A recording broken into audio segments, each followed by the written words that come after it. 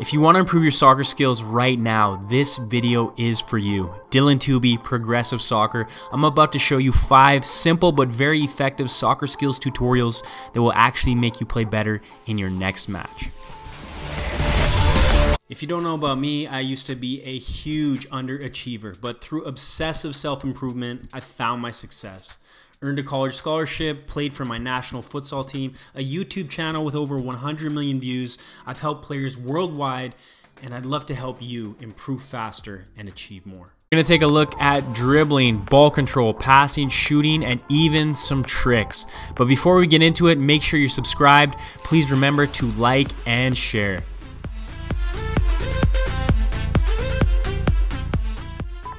When it comes to dribbling, the most important thing for me is being direct. Have purpose. Do something when the ball is at your feet. Don't be hesitant. Don't be slow. Try to drive towards net. Take up that open space with purpose. On the other side of things, you don't want to overcomplicate your play and take too many touches when it's not necessary. Some of you are going to look at this clip and say, I want to dribble like that. Yes, you need to have skills. You need to be creative when the ball's at your feet, but you have to do something with the ball.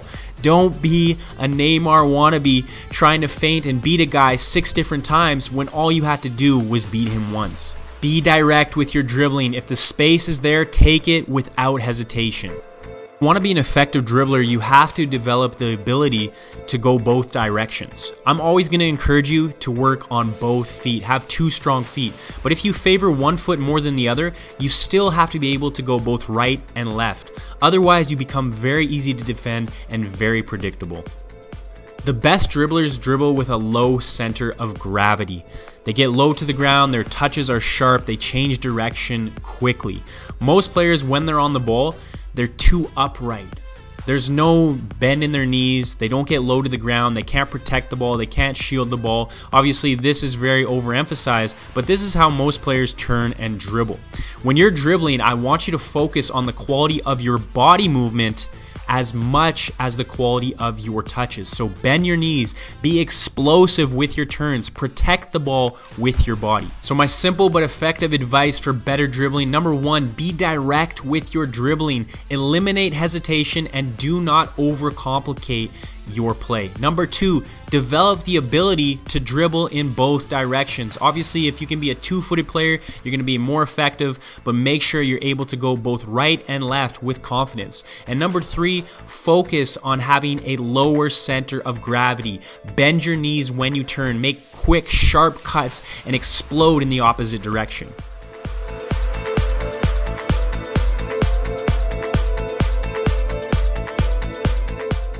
My first tip for better ball control is what I call making visual contact with the ball. Now, this may seem silly, but most players, when they're about to control or have a first touch, don't actually watch the ball all the way to their foot.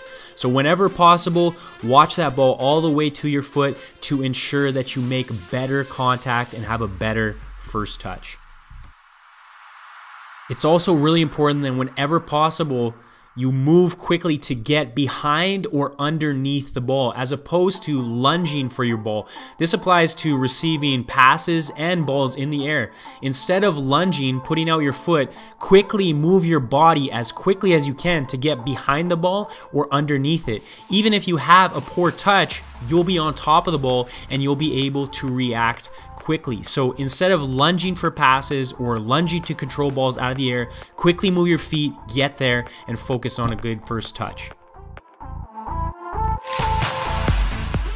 Please understand your current skill level is the direct result of the amount and quality of practice that you have put in. So if you want to improve your skills, you want to improve your ball control, juggle every single day. If you can't hit 500 consecutive juggles, I would encourage you to juggle every day until it becomes a reality. Once you become comfortable with that, start working on other ball control techniques, becoming comfortable with all different parts of your feet and body.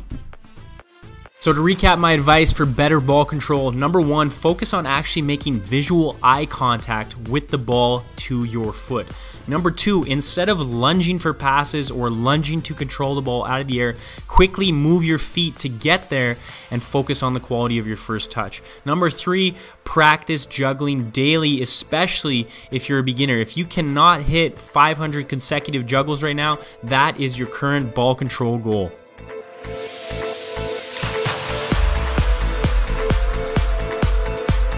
If you like this content, check out the Soccer Success Planner. You can download it for free. There's a link in the description below.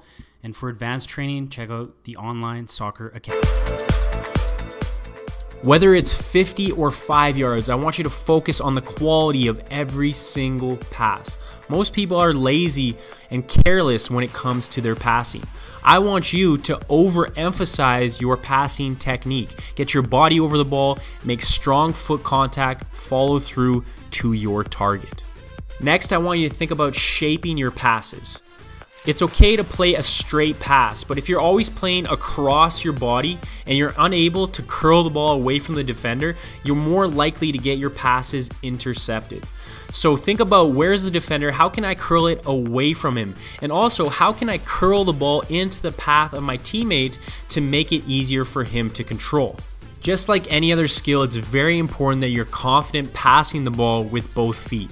If I know you only have a right foot, you become very easy to defend. Even if you favor one foot more than the other, make sure you can play a confident pass with your weaker foot. Advice for better passing. Number one, overemphasize your technique and take pride in the quality of every single pass. Never give the ball away due to a careless or lazy pass. Number two, shape your passes away from defenders and into the path of your teammate. And number three, develop the ability to pass effectively with both feet so you're unpredictable and hard to defend.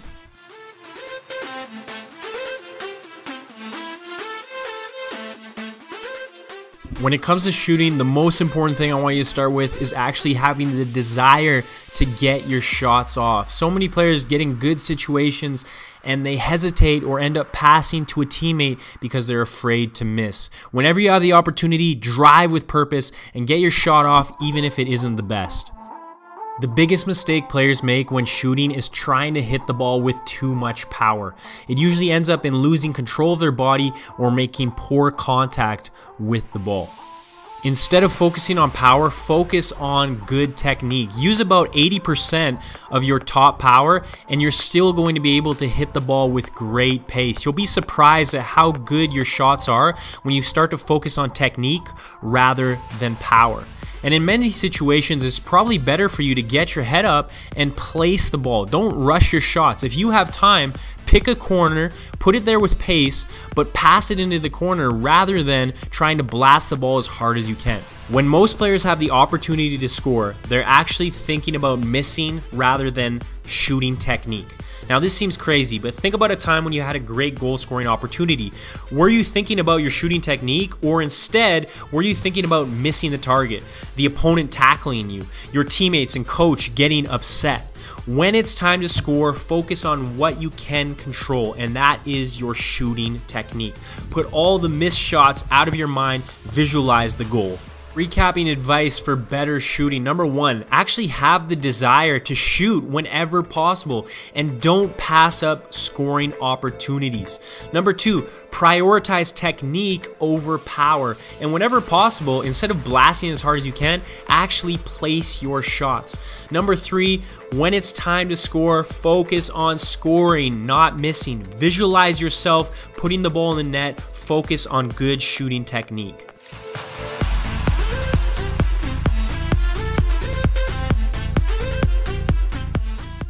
If you want to learn some freestyle tricks to impress your friends and show off a little, that's cool. It will help you improve your ball control, but do not tell yourself that this is actually making you a better player. It isn't helping you get closer to your goals. So, number one, you have to focus on real match skills that are actually going to help you perform better in games and allow you to help your team win more matches. Tricks are fun. I went through a phase when I was younger of mastering these skills.